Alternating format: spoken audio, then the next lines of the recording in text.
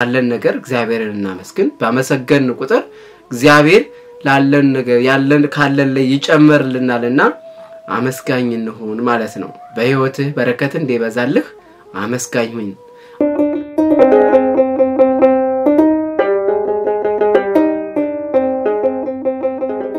ሰላም ጤና ይስጥልን። እየተወደዳችሁ የቤተ ቃናቲው ቤተሰቦች ሁላችሁም በያላችሁበት ሰላመ ክርስቶስ ይብዛላችሁ። ከኔ ጋር በጣም ደህና ነኝ፣ እግዚአብሔር ይመስገን። ቤተ ቃና tube ን subscribe፣ like፣ share ማድረጋችሁን እንዳትረሱ። በቀጣይ የሚለቀቁ አዳዲስ ቪዲዮዎችን በቀጥታ እንዲከታተሉ ማለት ነው። ዛሬ አንድ አጠር ያለ ቆይታ ከኔ ጋር ቆይታ እናደርጋለን ማለት ነው። በሕይወትህ በረከት እንዲበዛልህ አመስጋኝ ሁን። ምስጋና ምንድን ነው? በረከት እንዲበዛልንስ ምንድን ነው የሚል አጠር ያለች ጽሑፍ አለች። እሷ ጋር ቆይታ እናደርጋለን። እስከ ፍጻሜ አብራችሁን ቆዩ። በሕይወታችን ብዙ ልናሟላቸው የምንፈልጋቸው ነገሮች ይኖራሉ። ጠቢቡ ሰለሞን በመጽሐፈ መክብብ ምዕራፍ አንድ ቁጥር ሰባት ላይ ሲናገር ፈሳሾች ሁሉ ወደ ባህሩ ይሄዳሉ፣ ባህሩ ግን አይሞላም ይላል። ምናልባት ይህ ቃል የተገለጸበት አንግል ከምንድን ነው የሚለውን ነገር ወደ ታች እንመልከት። ይህም ምን ቢሰጠው የትኛውንም ያህል ቢትረፈረፍለት የሰው ልጅ ምኞትና ፍላጎት ማለቂያ የለውምና እኛም ገንዘብ፣ ስራ፣ ፍቅር፣ ዝና፣ ስልጣን በምኞት ቋጠሯችን ውስጥ ካካበትናቸው ጥቂቶቹ ናቸው። እውነት ወይስ ሐሰት? እውነት ነው። የሰው ልጅ ካለው በላይ ለመጨመር በየሰዓቱ ከተደረገለት ከተቀበለው በላይ ለመጨመር ምኞታችን የሰው ልጅ ምኞትና ፍላጎት ማለቂያ በፍጹም የለውም። በገንዘብም፣ በስራም፣ በፍቅርም፣ በዝናም፣ በስልጣንም ሁሉም ቢሆን በምኞት ቋጠሯችን ካካበትናቸው ጥቂቶቹ ናቸው። መመኘቱ ባልከፋ ነበር። ነገር ግን ብዙዎቻችን የሌለንን ስንመለከት ያሉንን ነገሮች አይን እንነፍጋቸዋለን። እውነት ሐሰት? እውነት ነው። በሌለን ነገር ስንባዝን፣ ስንከፋ፣ ስንቆዝም ያሉንን ነገሮች ራሱ ባሉን ነገሮች በአይናችን ሳናመሰግንበት ለአይናችን እንኳን እንነፍጋቸዋለን። ስለዚህ መጠየቅ እንጂ ማመስገን ይሳነናል ማለት ነው። በዚህም ሁል ጊዜ ጠያቂዎች እንጂ አመስጋኞች አይደለንም። ሁልጊዜ ጠያቂዎች እንጂ አመስጋኞች አይደለንም። ልብ በሉ። ሁላችንም በሕይወታችን ወደ እያንዳንዳችን ወደ ውስጣችሁ አስገቡት። እንዴት ነው ሕይወታችን?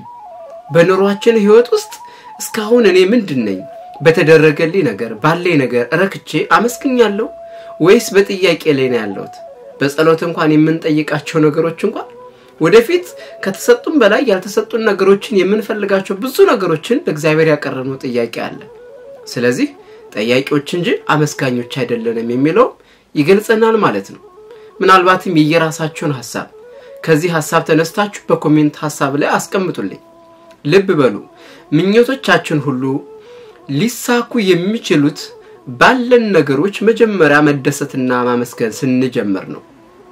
ወንድሞቼና እህቶቼ ባለን ነገር ላይ ስንደሰት ላለው ይጨመርለታል ነውና ስለዚህ የሚጨመርልን የሚሰጠን ባለን ነገር ማመስገን ስንጀምር ነውና ስለዚህ ማመስገን እንጀምር። ለምሳሌ ይላል አንድ ወዳጃችን በችግራችን ደርሶ ረዳን እንበል። ላደረገልን እርዳታ ምስጋና ካልሰጠ ነው እንዴት ብሎ በሌላ ችግራችን ይደርስልናል? አምላካችን እግዚአብሔርም ላደረገልን ነገር ባመሰገንነው ቁጥር ሌሎች ልመናችንን ሰምቶ በበረከት ላይ በረከት ያትረፈርፍልናል። የገሃዱ ዓለም ሀቅና እውነታ ይሄ ነው። እግዚአብሔርም ከሰው ልጅ የሚፈልገው አንድና አንድ ሌላ ምንም ነገር አለ፣ ምስጋና ነው። ባመሰገንን ቁጥር ይሰጠናል፣ ካለን ነገር ላይ ይጨመርልናል። ስለዚህ ሁልጊዜ አመስጋኝ አንደበት ሊኖረን ይገባል። ነገር ግን በምስጋና ፈንታ በቂ ገንዘብ አላገኝም፣ ኑሮዬ ምስቅልቅሉ የወጣ ነው፣ መልካም የትዳር አጋር አላገኘውም፣ ስኬታማ አይደለሁም፣ እግዚአብሔር አይሰማኝም የምንልና የምናማርር ከሆነ ያሉን ነገሮች እንዳናይ ከማድረጋቸውም በላይ በረከታችንን የማራቅና ያለንን በረከት ልናጣ እና ልንጠነቀቅ ልንነጠቅ እንችላለን። እውነት ነው። ባለን ነገር ተደስተን የማናመሰግን ያለን ነገር በዛ ተስተን እግዚአብሔርን የማናመሰግን ከሆነ ያለን ነገር በሙሉ ሁሉ እንነጠቃለን፣ ልንነጠቅ እንችላለን። በረከት ከኛ ይርቃል ማለት ነው። ስለዚህ አመስጋኞች መሆን ያስፈልገናል ማለት ነው። ብዙዎቻችን ግን ይህንን አንረዳም። ለደቂቃ ልቦናችንን ሰብሰብ ሰብስበን ካስተዋልነው እያንዳንዳችን በማንኛውም ሁኔታ ውስጥ ብንሆን እንኳን ልናመሰግን የምንችልበት ብዙ ምክንያቶች አሉን። እንደው ዋጋቸውን እያረከስን ነው እንጂ እያንዳንዳችን ሌሎች የሚመኟቸው ነገሮች እኛ ጋር ዋጋ ጥተው ተቀምጠዋል። እውነት ሐሰት? እውነት። ከሁላችሁም ላይ እኛ ጋር ከተሰጠን ላይ ያለን የተሰጠን ነገር ብዙ ሆኖ እያለ ከኛ ያለ ከሌሎች የሌለ ባለን ነገር ላይ ለማመስገን ብዙ ነገሮች ኖሮን ግን ያላመሰገንበት በጥያቄ ውስጥ የምንባዝኖች ስንቶቻችን እንደሆን እናውቀዋለን። ስለዚህ አመስጋኝ ለመሆን ነው። የአልጋ ቁራኛ የሆነ ሰው በሕይወቱ የሚመኘው ነገር ሙሉ ጤንነቱን ሆኖ ሳለ ጤነኛ ሰው ግን ስላለው ጤና አለማመስገኑ አይገርምም? ይህን ልብ ብላችሁ ታውቃላችሁ? የታመመ ሰው አልጋ ቁራኛ የሆነ ሰው በሕይወቱ የሚመኘው ምን ነው? ሙሉ ጤንነትን ነው። እባክህ ጌታዬ ጤና ስጠኝ፣ እባክህ ሙሉ ሰው አድርገኝ፣ እባክህ ጤነኛ አድርገኝ እያለ አምላኩን ይማጸናል።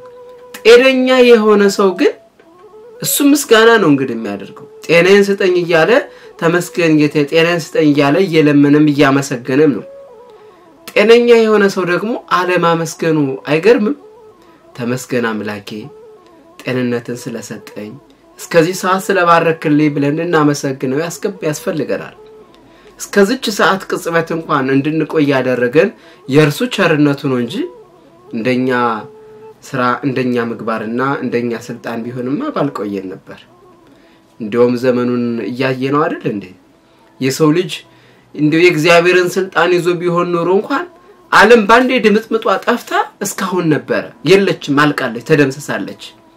ቸር አምላክ ስላለ ግን እንደ ክፋታችን እንደ ኃጢአታችን ሳይመለከተን በቸርነቱ በትዕግስቱ እየጠበቀን ይዞናል። ዛሬ የዱር እንስሳት ዛሬ አውሬዎች እንኳን የማይጨካከኑትን ጭካኔ የሰው ልጅ ጨክኖ እንስሳቶች በተዋደዱ እንስሳቶች በሚከበሩበት ዘመን በዚህ በሰለጠነው ዘመን ላይ የሰው ልጅ እንደ አውሬ ሆኖ የሰው ልጅ ሲበላ ያየንበት የደረስንበት ዘመን ሆኖናል። እንኳንስ ይልቁን ልናመሰግን ማለት ነው። ስለዚህ አመስጋኝ በመሆናችን አመስጋኝ ትውልድ ይመጣል። እግዚአብሔርን የሚፈራ ትውልድ ይመጣል። ፈሪሃ እግዚአብሔር ያለው ትውልድ ይመጣል። ስለዚህ ማመስገን ይኖርብናል ማለት ነው።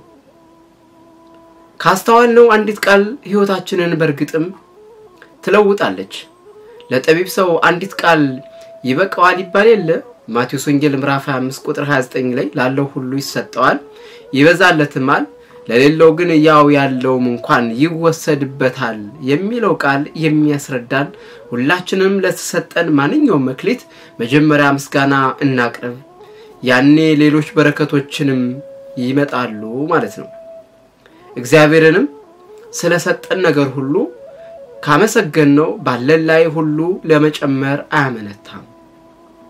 ስለዚህ በተሰጠን ነገር እግዚአብሔርን እናመስግን።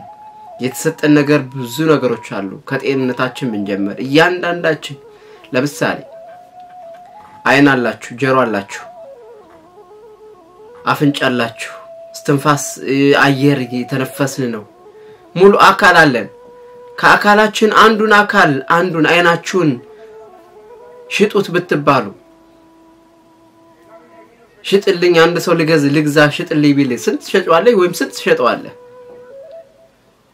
ሚሊዮን፣ አስር ሚሊዮን፣ መቶ ሺህ ስንት ዋጋ ይተመንለትም አይደል? አንድ ዕቃ እኮ ዋጋ የሚወጣለት በፈጠረው ወይም በሰራው አካል ነው። እቃው ነው የሚወጣለት። እኛን የፈጠረን የፍጥረታት ፈጣሪ የዓለማት ገዥ የሆነ እግዚአብሔር አምላክ የሰው ልጅ እንደ ምሳሌውና እንደ አርአያው አድርጎ ፈጠረው አይደል የሚለው እንደ ምሳሌያችን እንፍጠር ብሎ በስድስተኛው ቀን ላይ በገቢር ከተፈጠሩ ፍጥረታት እንግዲህ የተፈጠረው ፍጥረት ማን ነው? ሰው ነው። ስለዚህ የሰው ልጅ የፈጠረው እግዚአብሔር ነው። ዋጋውንም የሚተምንለት እግዚአብሔር እንጂ የእያንዳንዳችን አካላችን እንሽጠው ብን እንኳን በሚሊዮን እንኳን ልንሸጠው ልትሸጡትም ልንሸጥም አንችልም። ስለዚህ እኛ ከሚሊዮን በላይ የምናወጣ ክቡር የሆን የሰው ልጆች የሰው ልጅ ፍጥረት የእግዚአብሔር ፍጥረት ነን። ስለዚህ እናንተ ለአንዲት ነገር በዚህ ደረጃ ላይ ሰው ሰርቶ ሰው ለሚገለገልበት እቃ ያን ያህል እንትን ካነ ዋጋና ክብር ከተሰጠው እግዚአብሔር አምላክ ችን ምድር ለፈጠራት ይህን ዓለም ለፈጠረው አምላክ የፈጠረውን ፍጥረት ግን ምን ያህል እንደሚያከብረውስ ምን ያህልስ ዋጋ እንዳለን የሚያውቀው እሱ ብቻ ነው። ስለዚህ የተሰጠን ነገር ያለን ነገር ከበቂ በላይ ነው።